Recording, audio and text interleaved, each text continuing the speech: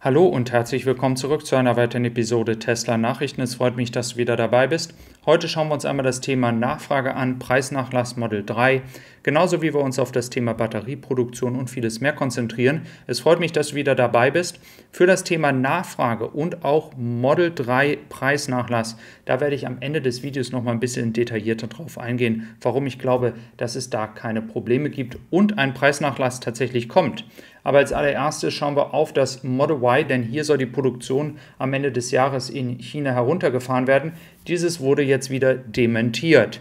Und dieses Spiel geht tatsächlich schon seit drei Wochen so. Ob es jetzt Preisnachlässe sind, die kommen sollen, dann aber erstmal nicht kommen. Ob es andere Dinge sind wie die Probleme in der Produktion oder eine Reduktion der Produktion, die dann wieder dementiert wird. Dieses Spiel geht gerade so ein bisschen hin und her. Wenn man den normalen Menschenverstand nimmt, dann würde man sagen, es gibt genügend Märkte, in die Tesla exportieren kann. Es mag eigentlich nur auf basierend der Nachfrage keinen Sinn, die Produktion runterzufahren. Sollte es eine Wartung sein, dann macht es natürlich Sinn, aber das ist ja auch was ganz Normales, welches jede Fabrik irgendwann mal machen muss. Dann schauen wir einmal auf die 86 Prozent der Deutschen, die den Ausbau der erneuerbaren Energien unterstützen. Das besagt eine neue Umfrage, die von der Agentur für erneuerbare Energien in Auftrag gegeben worden ist. Ich muss ganz ehrlich sagen, wenn man so im Internet unterwegs ist, hat man ja manchmal das Gefühl, dass es gefühlt 60 Prozent der Leute sind, die vollkommen dagegen sind.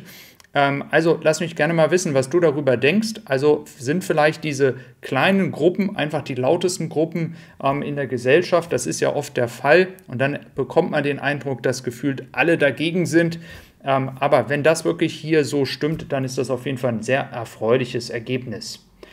Ja, wenn es um die Batterieproduktion geht, dann ist es so, dass Reuters nochmal kalkuliert hat, dass wir eigentlich insgesamt bis 2031 tatsächlich ähm, eine Batterieproduktion in der Höhe von 1200 Gigawattstunden brauchen. Und die ähm, Nachfrage plant man mit ca. 875 ähm, Gigawattstunden.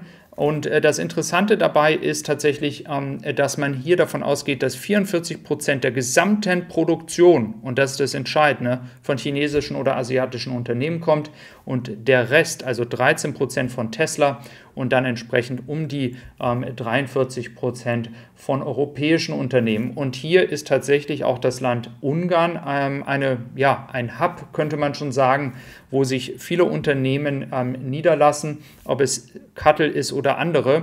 Also Ungarn wird fast zur Batterieproduktion hier.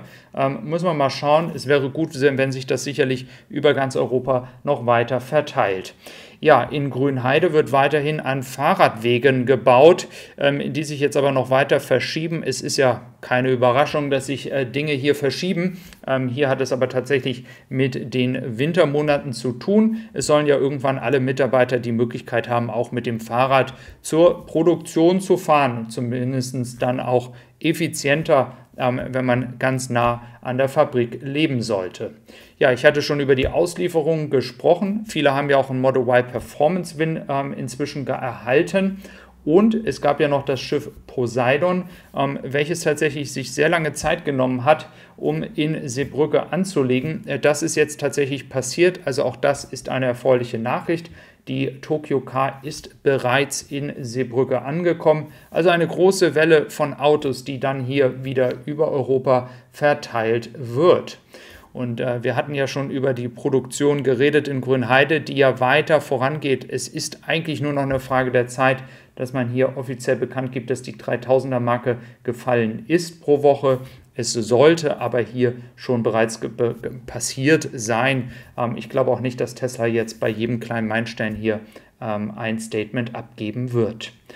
Ja, was in den USA tatsächlich weiter ähm, an Projekten startet, ist auch sehr interessant zu beobachten, denn wir hatten ja über diese ähm, virtuelle ähm, Fabrik gesprochen. Denn ähm, es soll ja möglich sein, dann mit Solar, mit einer Powerwall und natürlich den äh, Software-Technologien, die Tesla hier bereitstellt, entsprechend sich gebündelt zusammenzutun, um entsprechend das Stromnetz ähm, zu unterstützen. In Amerika kann man hier um einiges mehr verdienen, wenn man das tatsächlich macht, wenn man einspeist.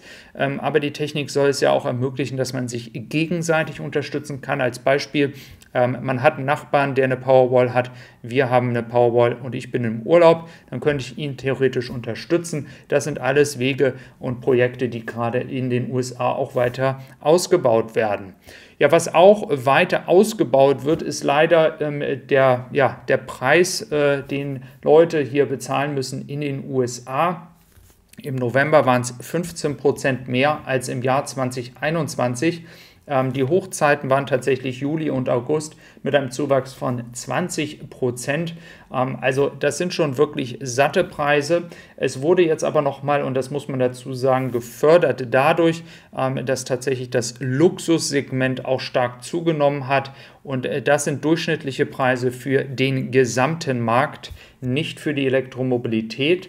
Aber ich glaube, das ist auch so ein bisschen die Gesamtsituation, auf die wir gleich nochmal zu sprechen kommen ähm, beim Thema Preisnachlass fürs Tesla Model 3.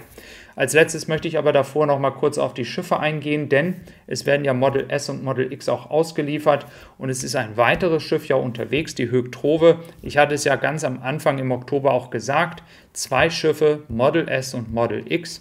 Ich hatte bis dato eigentlich mit allen Schiffen auch soweit recht. Das Einzige, was jetzt tatsächlich nicht mehr auf dem Schirm war, war die Themis. Da sollen aber auch wohl Wind verteilt worden sein. Also ein Schiff falsch bei all den Schiffen. Ich glaube, das ist eine ganz gute Rate in diesem Quartal.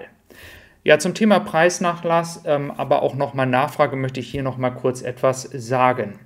Wenn es um den Preisnachlass geht, wir haben erstmal eine erhöhte Produktion, wir haben recht hohe Strompreise, wir haben eine Förderung, die weniger wird und äh, es gibt noch viele andere Aspekte, die man erwähnen könnte, die dazu führen, dass es sehr wahrscheinlich ist, dass Tesla tatsächlich das Model 3 Standard Range ähm, in, im Preis senken wird.